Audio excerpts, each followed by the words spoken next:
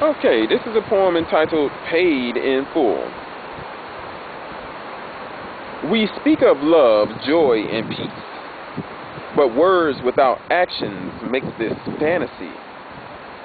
Just qualities to admire, merely dreams of what's good and true. Yet the things deemed sacrilegious describes what we actually do. Not meaning to be judgmental, it's just time to open our eyes Time to stop taking advantage of the naive and innocent.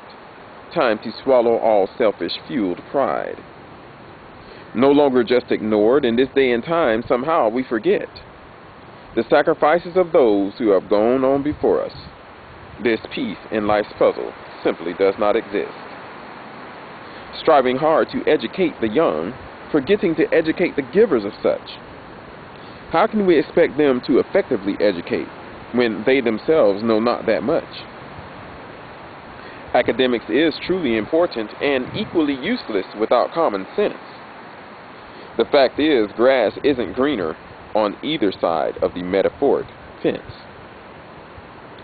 The more you have, the better off you are, is the teachings of modern day. If applied more toward moral values, the youth will be spared the price we now pay. And that poem is entitled Paid in Full. Now, I wrote this poem for a particular reason. Um, I would say it was a spin off of another poem, but it really wasn't. It's just observations. You know, I see something and I write about it. And this is, these are things that I saw. I mean, we praise the kids that um, in school for making A's on their report card, but yet and still, they're flunking out at home. You know, I would much rather a child learn what they're supposed to learn at home, then learn the academics from school so that they can better apply the things that they learn towards the academics. That way it pans out great. But nobody, not in a in a productive community, job wise or anything, wants an overly educated self righteous, selfish minded, um,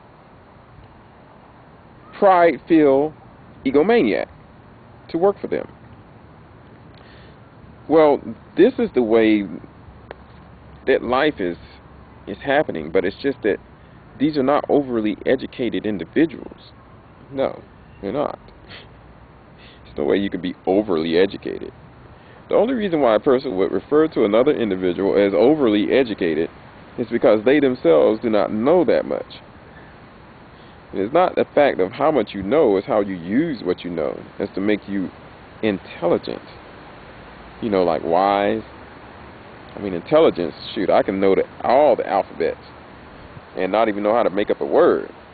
You get a person who knows only three letters of the alphabet and they can make up a word and you're like, wow, you know, that kind of thing. But um, but it's true in this poem when it says that they're striving hard to educate the young, forgetting to educate the givers of such. Now, this education is is twofold: education academically and then education moralistically. Okay, if you don't have the moralistic education, then the academic education is of no use to you. You know, in in the grand scheme of things. You know, if you don't have the academic education, your moralistic education can carry you a lot further than just having an academic education.